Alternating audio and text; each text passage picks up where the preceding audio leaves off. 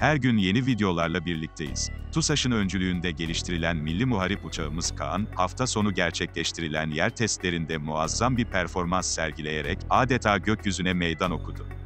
Türkiye'nin gurur kaynağı Kaan, kısa bir süre içinde ilk uçuşunu gerçekleştirecek ve 2028 ila 2029 yıllarında Türk Silahlı Kuvvetleri'ne tam 20 adet bu muazzam savaş makinesini teslim edecek.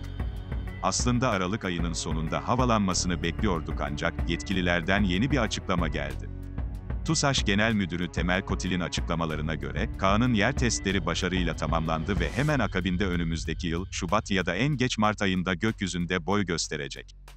Ancak bu sadece başlangıç, hızlı bir seri üretime geçilecek ve Türk mühendisler, uçağın uçuş testleri tamamlandıktan sonra, adeta bir çırpıda bombaları yükleyip muharebeye hazır hale getirebileceklerini söylüyorlar. Kaan'ın prototiplerinde kullanılan General Electric F110 turbofan motorları, sadece F-16'ların değil, artık Türkiye'nin kendi üreteceği jet motorlarının habercisi olarak da karşımıza çıkıyor. Bu yerli motorlar, Kaan'ı dünya savaş jeti kategorisine taşıyacak, çift motorlu ve Mach hızını aşabilme yeteneğiyle F-22 uçaklarının rakibi olacak.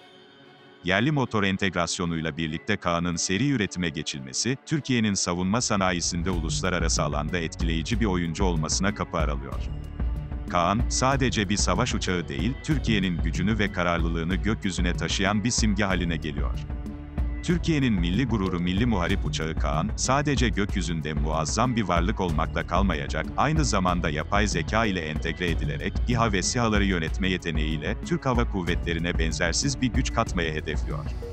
İnsanlı ve insansız hava araçlarının tek bir kokpitten yönetilebilmesi, 6. nesil kabiliyetlerin kapısını aralıyor. Baykar firmasının geliştirme aşamasındaki Kızıl Elma insansız uçağı ve TUSAŞ'ın hızla ilerleyen Anka 3 projesi ile birlikte, Türk savunma sanayi, adeta yeni bir dönemin eşiğinde. Hem kamu hem de özel sektör firmalarının insanlı ve insansız uçak projeleri, Türkiye'nin savunma sanayindeki büyük başarısını gözler önüne seriyor.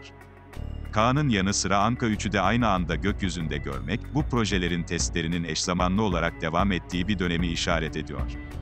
İnsanlı ve insansız hava araçlarının bir arada çalışabilmesi, Türkiye'nin savunma kabiliyetlerini daha da güçlendirmeye yönelik önemli bir adımı simgeliyor.